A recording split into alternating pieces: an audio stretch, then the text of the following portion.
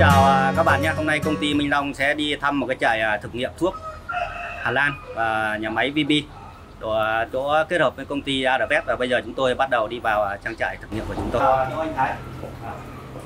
Anh Thái là giám đốc công ty ARVS kết hợp với này công ty Minh Long phân phối một số các sản phẩm của Hà Lan. Và đây là cái tủ thuốc mà công ty ARVS đang thực nghiệm trong trang trại của mình. Và anh chị chúng ta có thể thấy ờ, rất nhiều những ờ, sản phẩm của Lan như là Viton 140 ờ, này, à, Intovit E này và rất nhiều những cái sản phẩm bổ dưỡng mà trước khi công ty ARS phân phối ra thị trường thì chỗ anh Thái có tiến hành thực nghiệm ở cái trại thực tế của gia đình nhà mình. Nên các anh chị chúng ta rất yên tâm khi sử dụng những cái sản phẩm mà công ty ARS bán cho các anh chị Bây giờ xin mời anh Thái cho tôi vào trong trại thăm trại được Đây là một cái trang trại thực nghiệm rất lớn của công ty ARS kết hợp với công ty Minh Long cũng như hãng Inter Germany của Hà Lan. À, đây là cái trang trại nuôi đông đây Thái.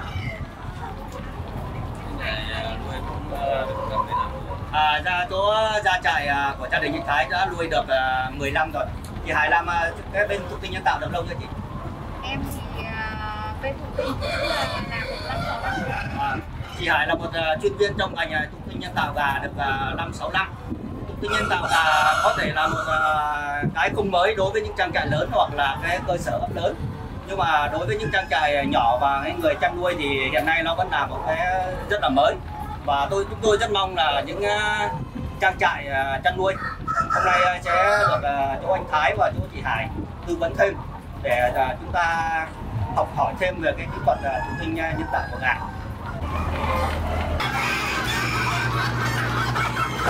Xin mọi người. Đây là khu ờ, nuôi ờ, gà trống ờ, Dương Việt. Tất cả là trống đang nuôi như thế này. Và bây giờ chị Hải sẽ giới thiệu sơ qua chúng ta xem muốn lấy thụ tinh nhân tạo gà thì cần những cái dụng cụ gì nhé? Nhất thụ tinh nhân tạo là mình thứ nhất là mình đi lấy tinh và dụng cụ chén để hứng tinh và cái thứ hai nữa là tuyết và cái thứ ba nữa là giấy giấy để lau lau dụng cụ à, các bác các chị có thể thấy là chị chúng ta có dụng cụ là rất là đơn giản. Tôi tin là tất cả những trang trại nào nuôi gà đấy, thì chúng ta đều có thể làm được những chị và có chị chúng ta chú ý đây là cái chén uống nước à, rất đơn giản thôi. Nhưng mà trước khi lấy thì chị Hải chúng ta, chị đã sát trùng rất là kỹ rồi, đúng không chị? Và sát trùng kỹ rồi đây là cái này là để dùng để hút tinh của con gà trống và bơm vào con lỗ huyệt con gà mái đúng không ạ? Vâng. và bây giờ chị Hải sẽ giới thiệu cho chúng ta xem lấy tinh con gà trống như thế nào nhé. Và bây giờ thì chỗ chị Hải sẽ hướng dẫn chúng ta cách lấy tinh nhé. Đây là con gà trống rất là to và chị Hải sẽ hướng dẫn chúng ta cách lấy tinh làm sao cho được nhiều nhất. Rồi mà chị. À, trước à, lúc mình lấy tinh là bắt đầu mình phải vuốt cái cái dương này để kích thích nó ra nhiều tinh ạ đây ạ. Ở đây. Mình con này. Đấy. Ra rất chi là nhiều luôn.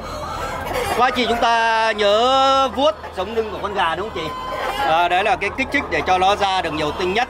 Vâng. Kích thích đây kích thích sống lưng này ạ. À. và người cầm sẽ có bẹn này nó sẽ chúng ta chú ý nhá là một một tay chúng ta phải bóp cái bẹn này cho nó này. Đấy. À. và và chúng ta vừa mới qua dãy chuyên nuôi gà trống thì bây giờ chúng ta đang sang một cái dãy ờ, chuyên của con gà mái. Và đây là chuyên ờ, chuyên gà mái. Và bây giờ à, chuyên viên Hải sẽ giới thiệu cho chúng ta cách phối giống bơm tinh vào lỗ huyệt của con gà mái. Các chị chúng ta để ý về cái chuồng nuôi nhá. Đấy mỗi ô chuồng là ba ba con này. Mỗi ô chuồng là ba con. Để ý cái dãy chuồng.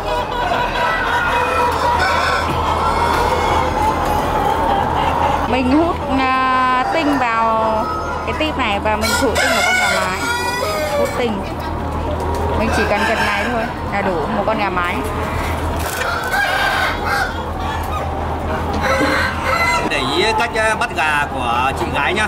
Tay chị làm sao chí làm sao để cho nó lỗ huyệt nó vào ra ngoài chị nhỉ? Và mình sẽ đâm vào đây ạ. Đâm vào lỗ của nó. Thế này ạ. Là được ạ. à,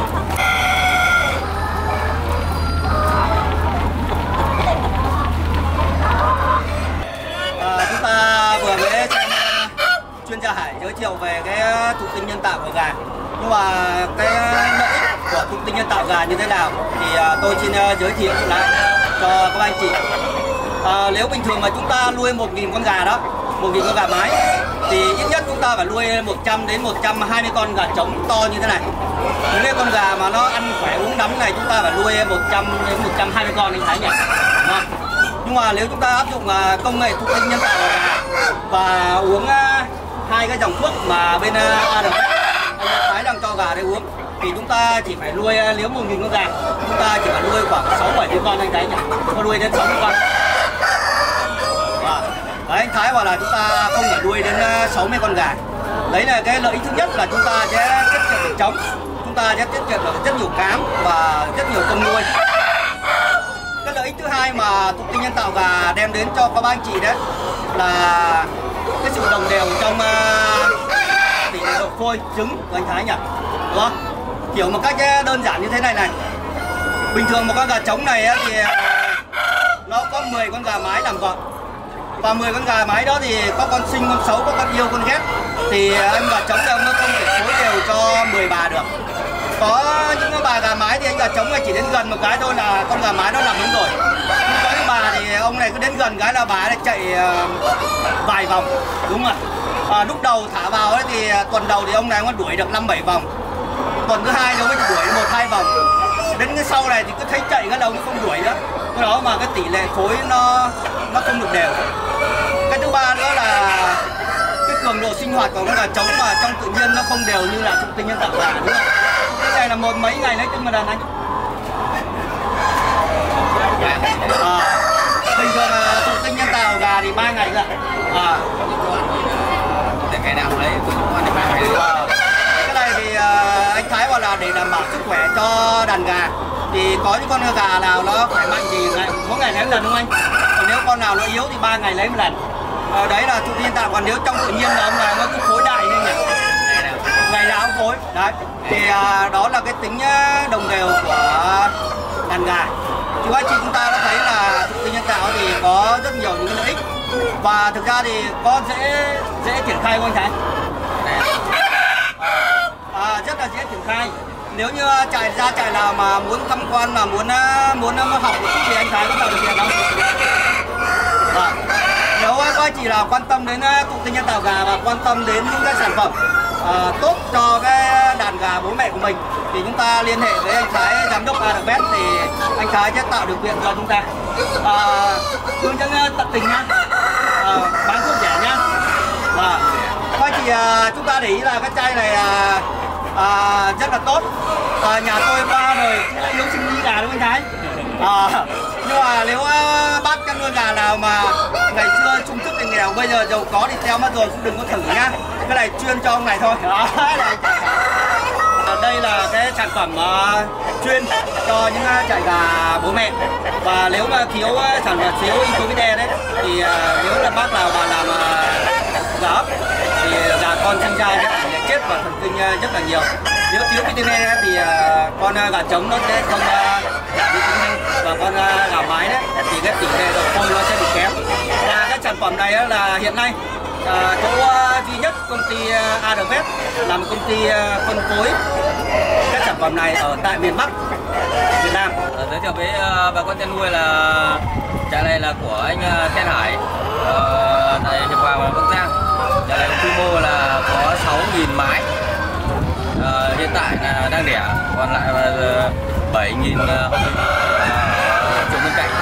Và cái chuồng này tại bây giờ là mới thu hoạch được 3 tháng trứng là đã đang đưa vào lò ấp và tỷ lệ bây giờ là đang đẻ ờ, trên 80 phần trăm. Nó sắp chỉ là 85 phần trăm. Hiện tại là trại này là đang nhân tạo và đưa ra một con giống rất chỉ là ờ, rộng trên ờ, thị trường miền Bắc. Thì uh, tôi giới thiệu sơ qua để mà biết được những người là anh chị thế nào. Thì uh, cũng xin cảm ơn và chào các con